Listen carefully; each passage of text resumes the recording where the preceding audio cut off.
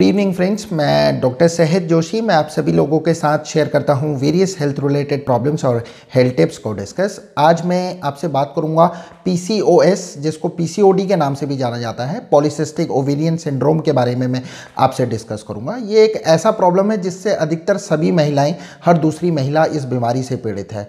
पहले तो पैंतीस प्लस एज की औरतों को ये प्रॉब्लम होता था, लेकिन आजकल मैं इसके केसेस देख रहा हूँ कि ये 19-20 साल से इसका प्रॉब्लम शुरू होने लग जाता है और लगभग एक ऐसा प्रॉब्लम है जिसका मॉडर्न मेडिसिन में एलोपैथिक मेडिसिन में कोई ट्रीटमेंट नहीं है। पीसीओएस और पीसीओडी के बारे में कि आखिर ये क्या चीज़ है? ये एक ऐसी बीमारी है जो औरतों में हार्मोनल इम्बैलेंस की वजह से होती है। Generally PCOS polycystic ovarian syndrome एक मेजर हेल्थ कंसर्न बन चुका है वोमेंस की लाइफ में। पीसीओएस से जनरली होता क्या है कि आपकी जो ओवरी होती है ओवरी में छोटी छोटी सी गांठें टाइप के बनने लग जाती हैं। छोटी छोटी सी गांठें आपकी एक ओवरी में या दोनों ओवरी में ऐसी गांठें जैसी बन सकती हैं। कुछ कुछ केसेस में ओवरीज में स्वेलिंग आने लग जाती है और इसी के कारण से ओवरी से जो हार्मोन प्रोड्यूस होते हैं, जिसको हम एस्ट्रोजन हार्मोन बोलते हैं और एंड्रोजन हार्मोन बोलते हैं, इनमें मल्टीपल चेंजेस आने लग जाते हैं। ऊँचे नीचे इनके हार्मोन्स के लेवल होने लग जाते हैं और इसी के कारण से पेशेंट के शरीर में पीसीओएस के पेशेंट्स के शरीर में अधिकतर बहुत अधिक सिम्टम्स पैदा होने लग जाते हैं। पेशेंट के शरीर में इंसुलिन के प्रति रेजिस्टेंस पैदा होने लग जाता है और इंसुलिन के रेजिस्टेंस के कारण ब्लड में जो शुगर होता है, वो पूरा प्यूरिफाई नहीं हो पाता बॉडी में शुगर प्यूरिफाई नहीं हो पाता है, जिसके कारण टाइप टू डायबिटीज़ हो जाती है पेशेंट को शुगर हो जाता है कुछ कुछ पेशेंट्स के नेक रीजन में लाइन्स पड़ने लग जाती हैं, काले रंग की लाइन्स नेक रीजन में देखने को मिलती है, ये जनरली शुगर के अप डाउन होने की वजह से शुगर के लेवल्स अप डाउन होने की वजह से होता है। चलिए अब बात करते हैं पीसीओएस और पीसीओडी के कॉजेज़ की, कि क्या इनके कॉजेज़ होते हैं। जनरली पीसीओएस और पीसीओडी के अभी तक का मेडिकल साइंस को कम्प्लीटली इसके बारे में पता नहीं है। लेकिन ऐसा माना जाता है कि एक बहुत ही कॉम्प्लेक्स इंट्रैक्शन होता है जेनेटिक इन्वायरमेंटल और हेरिडिटी और लाइफस्टाइल फैक्टर्स से मिलता जुलता परेशानी ये होता है। पीसीओएस जनरली एक रिज़ल्ट है आपकी। अगर आप खान पीन पे ध्यान नहीं देते हैं, अगर आप अपने लाइफस्टाइल पे ध्यान नहीं देते, जैसे सुबह टाइम से उठते नहीं हैं, शाम को टाइम से सोते नहीं हैं खाने पीने में ध्यान नहीं देते तो इसी के कारण पीसीओएस और पीसीओडी का प्रॉब्लम होता है। पीसीओएस के सिम्टम्स के बारे में कि अगर आपको पीसीओएस का प्रॉब्लम है तो आपको क्या क्या लक्षण देखने को मिल सकते हैं? क्योंकि जनरली 70 परसेंट महिलाओं को तो अभी तक इसके बारे में पता ही नहीं है।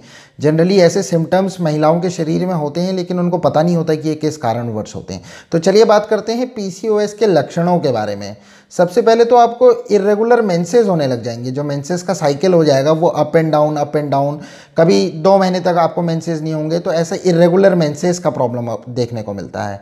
दूसरा जो कॉज है, वो होता है कि आपको एक्ने का प्रॉब्लम होने लग जाता है। आपके फेस रीजन में दाने दाने दाने होने लग जाते हैं, और उन दानों में एक दाना ठीक होता है तो दूसरा दाना अपने आप आ जाता है। तो एक्ने भी एक बहुत बड़ा कॉज है। आपके फेस रीजन पे, आपके आर्म पेट्स में, आपके हाथों में, पैरों में एक्स्ट्रा हेयर की ग्रोथ होने लग जाएगी। मतलब बाल उसमें बहुत इंटेंसिटी से बढ़ने लग जाएँगे और साथ ही साथ में आपको फेशियल रीजन में दाढ़ी जैसी आने लग जाएगी। फेशियल हेयर्स ग्रो होने लग जाएँगे। आपके आपको हेयर फॉल का प्रॉब्लम हो सकता है। हेयर फॉल आपको पीसीओएस में होता है और साथ ही साथ में जो हेयर की डेंसिटी होती है, वो पतली होने लग जाती है थिन होने लग जाते हैं हेयर्स आपके।